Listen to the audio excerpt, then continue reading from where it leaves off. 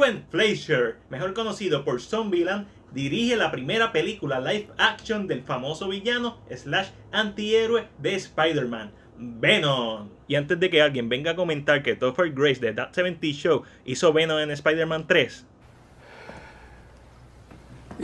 basado en el famoso personaje de Marvel Comics creado por Todd McFarlane y David Michelini, Venom es principalmente una adaptación de los cómics Lethal Protector, en los cuales tras llegar a un acuerdo con Spider-Man, Eddie Brock se muda a San Francisco, en donde inicia su carrera como antihéroe enfrentándose al Life Foundation dirigido por Carlton Drake, quien extrae una semilla del symbiote para crear a Scream, Phage, Latcher, Agony y Riot. Ahora, hablando de la película, esta mantiene los elementos más importantes del cómic. Eddie Brock sigue siendo un reportero que vivía en Nueva York y ahora vive en San Francisco. Y el villano principal sigue siendo Carlton Drake y el Life Foundation. Sin embargo, al no incluir el pasado de Eddie Brock como villano de Spider-Man, ahora esta película se las tienes que resolver para hacer una historia de origen. Lo más que me gusta de Venom es que al verla es como si estuviera viendo una de las películas de principio de los 2000. Y no me refiero a las que todos consideran excelentes como X-Men, Spider-Man y Batman Begins, ni a las malas como Catwoman, Electra y Fantastic Four Rise of the Silver Surfer, sino a las que están entre medio como Devil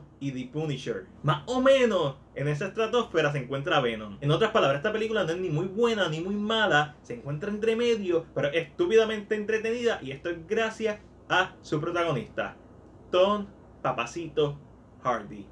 Amo Tom Hardy desde que lo vi en Warrior y luego en Bronson. Ese fue el orden que lo vi, no el orden que salió las películas. Así que te puedes imaginar lo emocionado que estaba cuando me enteré que iba a ser de Eddie Brock y de Venom. Si lo has visto en filmes como Legend y This Means War, sabes que Hardy tiene la actitud y el carisma para interpretar a este personaje. Y si lo has visto en filmes como The Drop y Luck, sabes que el tipo es una bestia actuando. Algo interesante de Venom es que el interés amoroso, su ex prometida, Anne Waining, lo deja en el primer acto. Digo, fue culpa de él. Pero lo interesante de eso es que no regresa con él. Esa es la parte que me encanta de este filme, porque a pesar de lo simple y hasta cierto punto trillado de su historia, hay ciertos temas que los trata con una madurez que normalmente no vemos en este tipo de películas de superhéroes o basadas en cómics, porque siempre el, bueno se queda con la chica.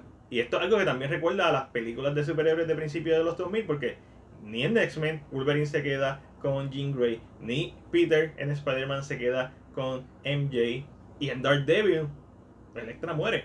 Un día de esto hablamos de Electra.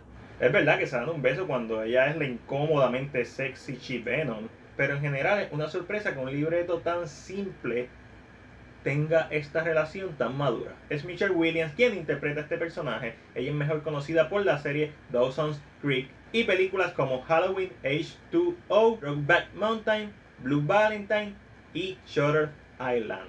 Con los diálogos que tenía y con las escenas que tenía, ella hizo lo mejor que pudo. Lo desperdiciado, sí, en el contexto de la habilidad histriónica que ella tiene, pero no en el contexto del papel que tenía que interpretar. Ella hizo su papel a la perfección. Y es bien divertido verla tratando y consiguiendo darle profundidad a esas pocas y simples líneas de diálogos que tiene, pero con unas emociones y un detenimiento que otra actriz no hubiera podido hacer. Lo mismo puedo decir del villano interpretado por Riz a quien vimos destrozar la pantalla en Sound of Metal otro gran talento, demasiado bueno para un papel tan zángano como el de esta película. Pero a pesar de eso, él también logra darle profundidad a su personaje y logra crear un villano, aunque olvidable, un tanto simpático y uno entiende cómo funciona él. Lo que sí siento es que le faltó profundidad al libreto de explorar más del backstory de él y no solamente verlo desde el punto de vista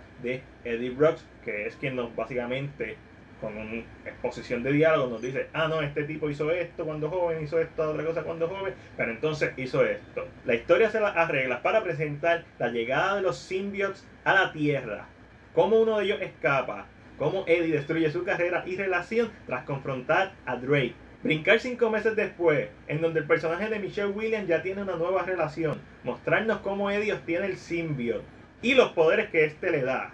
Meter tres escenas de acción Y entre todo esto, la película saca tiempo para mostrarnos el desarrollo de la relación entre Eddie y Venom, a la sexy, perdón, a She Venom, la batalla final entre Eddie y Carton y Venom y Riot, un cambio de Stanley, los créditos con la canción de Eminem y una escena post crédito con Woody Harrelson y su peluca horrible para Venom Maximum Carnage. Me niego a llamarla Let There Be Carnage. ¡Bravo! Hay filmes que son excelentes, hay filmes que son malos y hay películas que simplemente son fáciles y entretenidas de ver porque no pretenden ser nada más. Eso es Venom. Muchas personas dirían que esto es un guilty pleasure, pero ¿por qué tú o yo nos tenemos que sentir culpables porque nos gusta una película? Sí, como alguien que lleva más de 10 años haciendo reseñas de películas y analizando filmes, veo sus fallas, pero de la misma forma sé que el objetivo principal de una comedia es hacerte reír, de la misma forma que el objetivo principal de una película de horror es asustarte, y el objetivo principal de una película como Venom es mostrarte el origen del personaje y entretenerte en el proceso. Y Venom consigue eso. Y hablando de las fallas, su cinematografía es plana, no hay nada especial, funciona, I guess, pero no es nada del otro mundo, es bien blanda. Su música es más que todo atmosférica, poco memorable, aunque el tema Eddie's Blues me gusta. Su libreto es la suma de muchas ideas hechas de la manera más simplona posible. Hablando de simple, su humor casi slapstick y es tan y tan malo que da la vuelta y se convierte en bueno. El villano es uno débil y el arco de historia de Rayo es un asco que no hace sentido.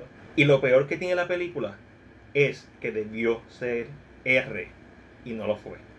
Pero olvídate de eso porque sale Stan Lee. Venom es una película que yo he visto mucho más veces que otros clásicos que considero mucho mejores filmes, pero que son un poquito más difíciles de ver.